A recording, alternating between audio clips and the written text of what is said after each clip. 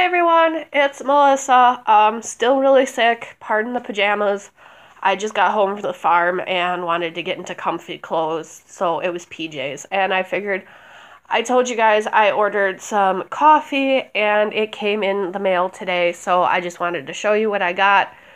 Downfall is it's only eight ounces of uh, whole beans instead of a pound and it's like $7.99 a bag so it's a little pricey for what you get but um, i couldn't resist because it was gilmore girls themed and i'm a big gilmore girls fan so without further ado the company is uh, Boca Java. I think I'm pronouncing that right. I'm not sure. Uh, this is my first and ever order from them. I'm totally going to order another three bags of coffee from them.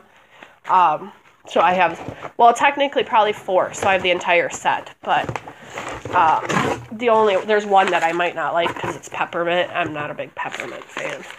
Um, the first bag of coffee I have is from the Stars Hollow Coffee Club, and it's Luke's No Nonsense Special. It's uh, bright and subtly, su- yeah, subtly sweet medium roast from Africa and Central and uh, South America, and it's whole beans. So I have to grind it myself, which is the best way to do it. I like grinding my own coffee. Then I have another Stars Hollow Coffee Club one, and it's Oi with the Snicker Poodles already. Uh, and it's a blend of sugar and cinnamon combined to deliver a delectable flavor of snick- snickerdoodle cookies. I think I'm gonna really like this one. Um, it's a play on Lorelai Gilmore going oi with the poodles already. If you didn't already know, I'm a little obsessed with Gilmore Girls. I've watched every season like a thousand times. Um, and then I have Stars Hollow Coffee Club Suki's uh, Gourmet Blend, which is an exotic blend of sweet vanilla, buttery caramel, and rich Kahlua.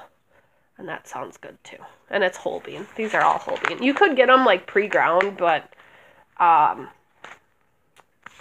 I didn't. I didn't want to get uh, ground already because I like grinding my own. And I wish I could smell it and tell you what guys what it smells like.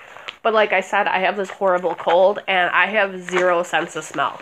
Even if I blow my nose like a bajillion times, still can't smell. So that's that haul. Um, next week, I think my wax melts should ship. The lady that has the company uh, is on vacation. So she sent a note on Instagram letting us all know that when she gets back from vacation, she will be shipping out all her products, which is good to know because I really want my wax melts because I ordered 12 of them. Yes, you heard me right. I said 12. I'm going to be good on wax melts for like the next year, but there's like still a good 15 of them that I still want to order, so I'll probably order some more next week cuz this week I had to pay my phone bill and buy some groceries and, you know, the stuff you saw in my previous video. So, hope everyone has a good night. Happy Valentine's Day again. Um, I'm hoping to feel better soon. This is now going on a week as of tomorrow. Um, and it doesn't seem to be getting any better. So, I might eventually go to the doctor if this doesn't go away. But have a great day. Bye.